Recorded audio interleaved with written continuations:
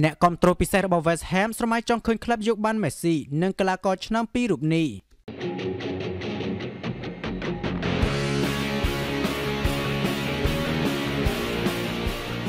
តារាសម្ដែងនិងតារាចម្រៀង Pixie Land ដែលជាអ្នកគ្រប់គ្រងពិសេសរបស់ក្លឹប West Ham United ថ្មីថ្មីនេះបានបង្ហាញការយល់ឃើញពីបំណងប្រាថ្នារបស់ខ្លួនជំវិញការចង់ឲ្យក្លឹបចុះហត្ថលេខាលើតារាឆ្នាំ3រូបដើម្បីយកមកជួយឲ្យក្រុមប្រជែងដណ្ដើមពានរង្វាន់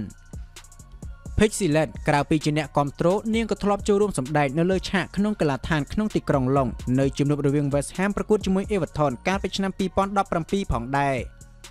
ក្រោយពីត្រូវបានគេសួរនាំពីក្តីស្រមៃនៃការចុះហត្ថលេខា3សម្រាប់ West Ham តារាស្រីរូបនេះបានប្រាប់សារព័ត៌មាន Harmony ថាវាជាការគិតដ៏ពិបាកមួយប៉ុន្តែបើស្ថិតក្នុងពិភពមួយដែលគេលែងយកលុយជារឿងសំខាន់ដំបូងបង្អស់ខ្ញុំសូមនិយាយដល់ឈ្មោះ Lionel Messi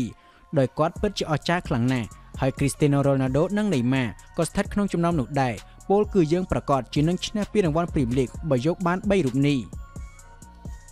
និយាយដល់កីឡាករដែលនាងចូលចិត្តបំផុត Pixelet បានចុចយកឈ្មោះ Thomas Saksek ដែលជាខ្សែបម្រើរបស់ក្រុមញញូ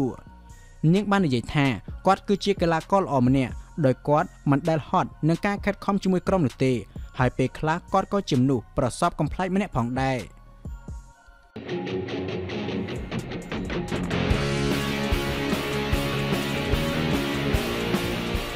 ឃើញលេងល្អអញ្ចឹងតែសានសារភាពថាมันធ្លាប់គិតហួសព្រំដែនដល់រឿងមួយនេះទេខ្សែប្រយុទ្ធរបស់ក្លឹប Tottenham Hotspur នៅរយៈពេលចុងក្រោយនេះហាក់ធ្វើបានល្អខ្លាំងជាពិសេសគឺការរកក្របបាល់ឲ្យក្រុមមន់ខ្នៃមាដែលរុញឲ្យឈ្មោះរបស់លោកឈរនៅ top scorer នាំមុខគេមាន8គ្រាប់ត្បិតបើការរកគ្រាប់បាល់របស់សាន់កំពុងទៅនាំមុខលើតារាឆ្នាំ Jamie Vardy, Calvert Lewin ឬ Mohamed Salah ក្តីតែសាន់បាននិយាយនៅមុននេះថា ខ្លួនមិនដែលគិតដល់ថ្នាក់ថាខ្លួនឯងជាកីឡាករល្អបំផុតមួយប្រចាំក្របខ័ណ្ឌ Premier League ឡើយពលគំនិតនោះមិនមែនស្ថិតនៅក្នុងការគិតរបស់លោកសូម្បីតែម្ដងនិយាយលើឆ្នែរបស់ Korea Football Association កីឡាករវ័យ28ឆ្នាំប្រាប់ឲ្យដឹងថាខ្ញុំមិនដែលគិតថាខ្ញុំស្ថិតក្នុងចំណោមកីឡាករល្អបំផុតនៅ Premier League ទេ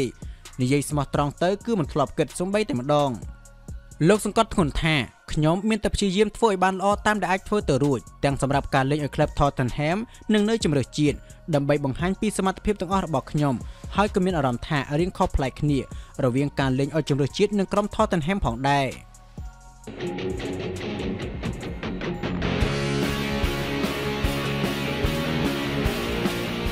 ឆ្នាំ Inter Milan ម្នាក់ទម្លាយប្រាប់ពីអារម្មណ៍ខកចិត្តជាមួយក្លឹបនិងចង់ដើរចេញក្នុងខែមករាខាងមុខ Christian Eriksen បានបញ្ជាក់ថាការសម្រេចចិត្តផ្លាស់ទៅកាន់ក្រុម Inter Milan របស់ខ្លួនហាក់មិនទទួលបានផលដោយដែលគេធ្លាប់បានគិតពីមុនមកនោះទេស្របពេលដែលរូបគេកំពុងពិចារណាច្រកផ្លូវចេញនៅពេលទីផ្សារដោះដូរកីឡាករបាក់ឡើងវិញនាខែមករាខាងមុខនេះ។ជាក់ស្ដែងខ្សែបម្រើសញ្ជាតិដានឺម៉ាករូបនេះបានផ្លាស់ប្ដូរទៅកាន់ទឹកដីសេរី A កាលពីខែមករាពីក្រុម Tottenham Hotspur ដោយរំពឹងថានឹងអាចទទួលបានភាពលេចធ្លោសម្រាប់រដូវកាលរបស់គេនៅក្នុងប្រទេសអ៊ីតាលី ប៉ុន្តែទោះជាយ៉ាងណាក៏ដោយក៏វាផ្ទុយស្រឡះពីអ្វីដែលអ៊ីរិកសាន់បានគិតខណៈរូបគេជួបប្រទះភាពលំបាកជាច្រើនដោយសារមិនសូវទទួលបានឱកាសចូលលេងច្រើននៅក្រុមការដឹកនាំរបស់គ្រូបង្វឹកលោកអាន់តូនីញ៉ូកុនតេមិនតែប៉ុណ្ណោះដោយនិយាយទៅកាន់ TV2 កីឡាករវ័យ28ឆ្នាំរូបនេះបានបញ្ជាក់ថាវាហាក់មិនមែនជាអ្វីដែលខ្ញុំបានស្រមៃទុកនោះទេ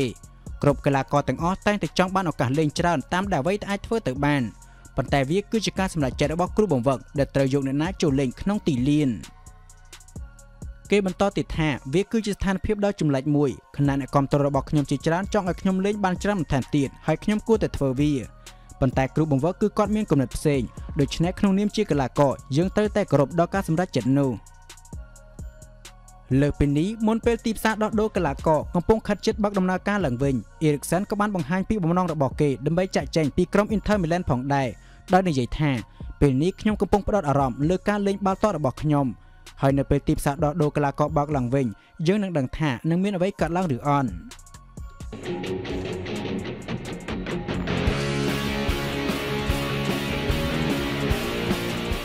ឌីនីប្រាប់រ៉ូណាល់ដូកុំឲ្យចូលរួមជាមួយ Manchester United អីហើយគួរផ្ទេរទៅក្រុមមួយនេះវិញល្អជាងប្រធានក្រុម Watford កីឡាករ Troy Deeney បានផ្ដល់យោបល់ដល់ខ្សែប្រយុទ្ធ Cristiano Ronaldo ឲ្យចូលរួមជាមួយក្រុម Wolves ល្អជាជាង Manchester United ជាក់ស្ដែង Ronaldo ជារឿយៗតែងត្រូវភ្ជាប់ទំនាក់ទំនងជាមួយនឹងការវិលត្រឡប់មកកាន់ទឹកដី Old Trafford វិញពលគឺចាប់តាំងពីបានចាក់ចេញកាលពីខែកក្កដាឆ្នាំ2009ហើយការពិពេលថ្មីថ្មីកន្លងទៅទំនាក់ទំនងទាំងនេះក៏បានកើតឡើងសារជាថ្មីម្ដងទៀតចំពេលអនាគតរបស់ខ្សែប្រយុទ្ធរូបនេះនៅក្នុងក្រុមជូវិនទូកំពុងមានភាពសង្ស័យយ៉ាងណាមិញក្រុមជូវិនទូត្រូវបានគេរាយការណ៍ថាកំពុងត្រៀមខ្លួនរួចជាស្រេចដើម្បីដាក់លក់ម្ចាស់ពានរង្វាន់បលុនដរ5សម័យកាលរូបនេះនៅទីផ្សារដោះដូរកីឡាករនាពេលខាងមុខ ដោយសារតែពួកគេមិនអាចទប់ជាមួយនឹងថ្លៃចំណាយទៅលើប្រាក់ឈ្នួលដ៏ច្រើនរបស់កីឡាកររូបនេះបានតែទោះជាយ៉ាងណាខ្ញែចាស់ឌីនីមិនគិតថាក្រុមរបស់លោកអូលេគូណាសលសាក់ខ្យានឹងក្លាយជាគោលដៅដ៏ត្រឹមត្រូវសម្រាប់កីឡាករ35ឆ្នាំរូបនេះនោះទេដោយលោកយល់ថាក្រុមវោទៅវិញទេដែលជាកន្លែងល្អបំផុតប្រសិនបើតារាកម្ពុជារូបនេះពិតជាសម្រេចចិត្តវិលត្រឡប់មកកាន់ក្របខ័ណ្ឌព្រីមលីកវិញពិតមែនលើពីនេះលោកឌេនីបានប្រាប់ទៅកាន់ Talk Sport ថា ខ្ញុំគិតថាក្លឹបដែលស័ក្តិសមនឹងទទួលរ៉ូណាល់ដូគឺក្រុមវោជាមួយនឹងបណ្ដាញកីឡាករប៉ូទុយហ្គាល់ដែលមាននៅក្នុងនោះ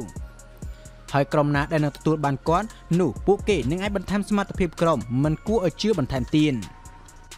គេបន្តទៀតថាតែទោះជាយ៉ាងណាអ្នកនឹងមិនអាចទទួលបានរ៉ូណាល់ដូដោយគេលេងនៅ Manchester United ពីមុននោះទេឥឡូវអ្នកក្រឡេកមើល Gareth Bale ជាឧទាហរណ៍គាត់បានវិលត្រឡប់ទៅកាន់ Tottenham វិញប៉ុន្តែវាមិនដូចគាត់នៅពីមុននោះទេ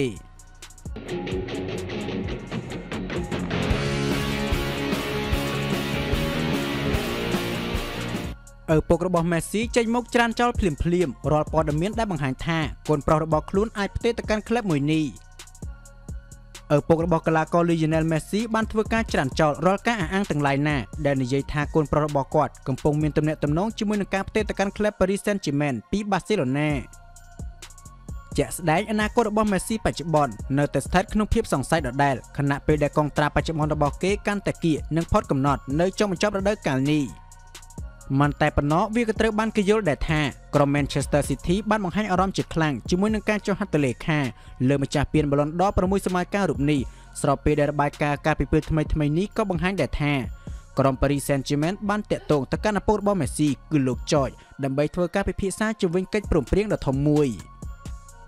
ប៉ុន្តែទោះជាយ៉ាងណាលោក George ដែលដើរតួជាភ្នាក់ងារផ្ទាល់របស់កូនប្រុសរបស់គាត់បានចេញមុខច្រានចោលទាំងស្រុងចំពោះព័ត៌មានទាំងនេះវិញ បន្ទាប់ពីបានបង្ហោះរូបភាពព័ត៌មានទាំងនេះនៅលើបណ្ដាញសង្គមអបអរជាមួយការសរសេរថាព័ត៌មានคล้ายៗលើពីនេះលោកចចនៅតែបន្តអះអាងថាអនាគតគុណប្រុសរបស់គាត់នៅឯទឹកដី Camp Nou អាចនឹងត្រូវលាតត្រដាងឲ្យដឹងនៅចុងបញ្ចប់រដូវកាលនេះខណៈ Manchester City ជាក្រុមតែមួយគត់ដែលមានភាគរយខ្ពស់ជាងគេក្នុងការចុះហត្ថលេខាលើខ្សែប្រយុទ្ធវ័យ33ឆ្នាំរូបនេះ។